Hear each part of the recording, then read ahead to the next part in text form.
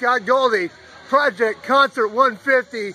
I am here with Carrollton Beef Core, fucking Dischord, here on Sunday Metal Sunday, the last band of the evening. We're still peeling the flame off the wall, all that good bullshit. Damn, you guys are fucking hard. Fucking hard as hell. Awesome fucking stuff. Would you like to introduce yourselves I'm Luke. to the YouTuberverse? Big Germ. Frank Rizzo. Name's Jordy. Alright, nice to meet you guys. Man, you guys just fucking killed it tonight. Fucking awesome. Thank you, This is like this is like my fifth attempt to see Dischord. So Yeah. I finally was like, they're on the project. Yeah. Awesome. Yeah, last time we played here, we were really, really drunk. So I feel like tonight was a good redemption. Yeah, show. definitely. Redemption, that's for sure. Pretty sure him and I both fell off the stage. So Uh, How long have you guys been together now? 15 years. 15 fucking years. That makes you Canton loyalty. Right. That I mean, you- they weren't consecutive. We had a few year break, but yeah, 15 years we've been jamming together. Wow, that's something else. It's like glue, come back together. Great. Like come. All over your face.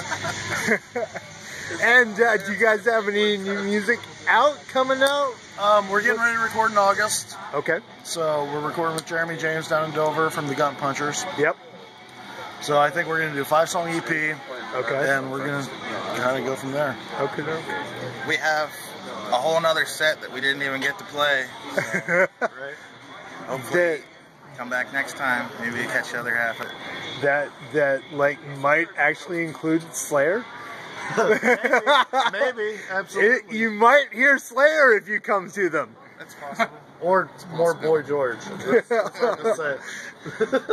we, we you know it, it's funny because I mean uh, you uh, Buzzbin has kind of become accustomed to hearing that song Yeah. because Hall and Oates Oh, do they the- do a cover of it yeah too? they do a cover of it as well so That's we were pretty just cool. like oh yeah it's cool it's Boy George Right. we're down with this we're down. Do they do a No Doubt cover too? they do not at this point they do not do a no, no doubt cover No, That's our shit. they uh, they they do the Laverne and Shirley theme song though which is pretty dope That's good. yeah that's Good shit. that's I, pretty good I would have never thought about that. So that's kudos to them. Yeah, and we, they and they keep it true to the TV show. It only lasts 35 seconds. That we fucker's left done. out Depeche Mode, Blue Suede Shoes. Yeah, we do all kinds of bullshit covers. Mm-hmm. You used to do Ring of Fire. Ring of- Yeah, we didn't play any GG tonight. Used to do. Bomb Track. Used to. so, who would you say your your big musical influences are? The Dillinger Escape Plan for me. Probably Norma Jean. I bring my own head. You can always use a little head. Who can? It- it's like it's like he doesn't look like Al Snow, but he brings his own head. More of an Albert Fishman. Yeah, I. How come I didn't see that on stage? You know, was I just not paying attention? She was. I think she was beside me. She was with me. Oh, okay. Back there getting some Just head. whack her on the head every so often. Make sure that you don't get a good shot of his jeans after that, though. all white.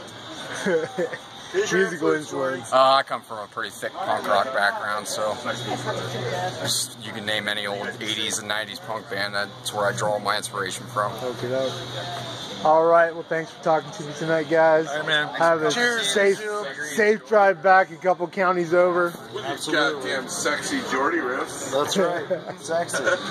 Cheers, you two. All right.